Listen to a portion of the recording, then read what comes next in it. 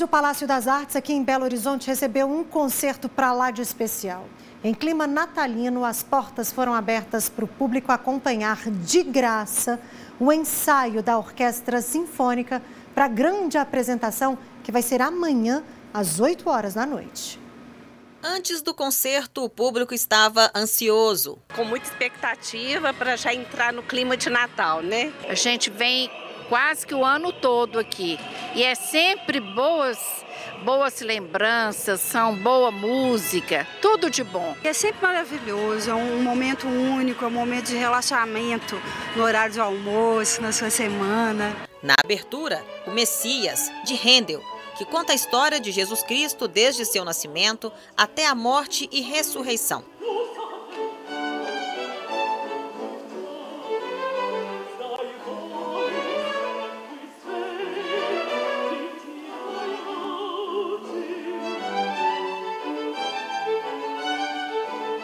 Nós vamos fazer o concerto de Natal que vamos oferecer para a população de BH e por isso nós escolhemos três compositores assim que têm muito a ver com esse tema. Do Messias de Handel, que trata do nascimento de Jesus, da sua vida e da sua morte, e o Magnificat de Bach, que é o momento em que Nossa Senhora recebe a notícia que ela vai carregar no seu ventre. O Filho de Deus, e de Beethoven vamos fazer a sétima sinfonia, que é a sua sinfonia mais vibrante, mais cheia de energia e que foi estreada no 8 de dezembro numa época próxima ao Natal. Com um repertório que mescla a profundidade do sacro barroco com a leveza das celebrações natalinas, como o Jingle Bells.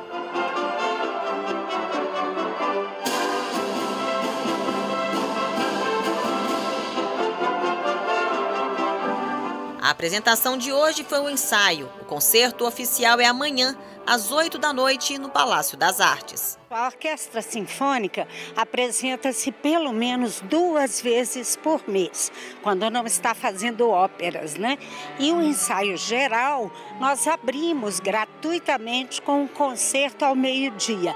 Ele é sempre um pouco mais didático, a maestra faz explicações sobre as obras e ele não é completo fazemos trechos do concerto que vai ser apresentado na quarta-feira à noite.